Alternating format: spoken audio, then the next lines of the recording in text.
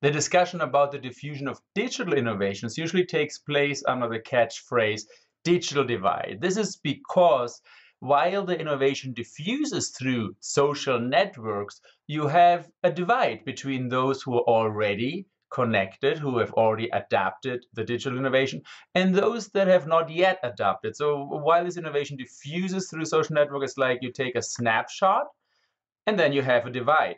Inevitably. So a divide is inevitable because no innovation falls like manna from heaven and then uniformly is equally distributed among everybody in society. No, it's a diffusion process through social network. And for that, it's inevitably that a divide has to happen at a certain point in time while the diffusion process is going on. So here I created a schematic network with a diffusion process, and we have to ask several questions if we want to define this dynamic here. And these lead to different perspectives on the digital divide and therefore different definitions of the digital divide. First of all, we have to ask what kind of technology are we talking about? So kind of like what do these colored nodes have to have in order for me to color them? Do they have phones, internet, broadband, some kind of storage technology, or, or what are we talking about here? Second, then we have to ask, well, what are these nodes? Are these countries, organization, or individuals? So we have to choose that.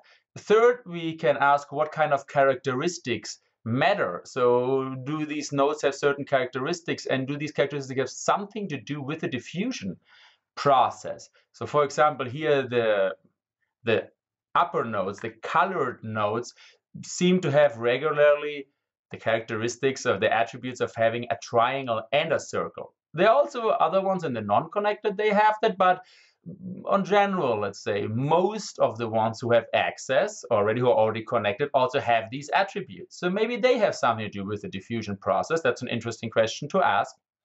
And finally, we ask, well, how are they connected?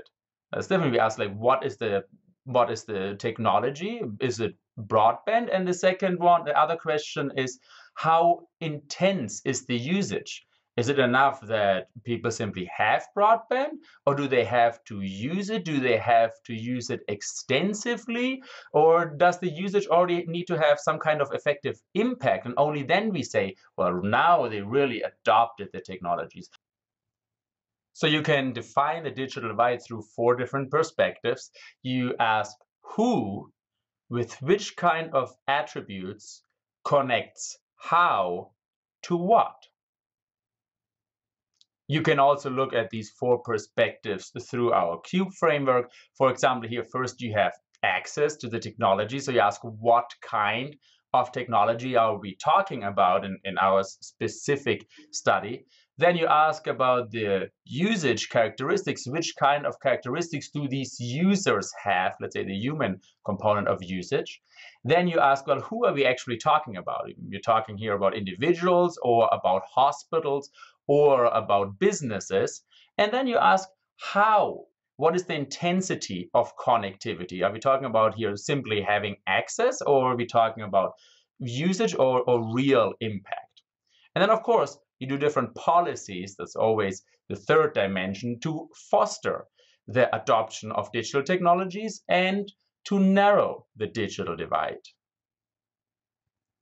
So let's go through these four perspectives one by one. Let's uh, start with the question of what technology we are talking about. Digital information communication technologies are the convergence between three previously separate technological trajectories, communication, storage, and computation. And in principle, we would have to consider every standalone computing capacity or every standalone storage device. But that is uh, traditionally not what happens. When people talk about the digital divide, they usually focus only on communication, on telecommunication.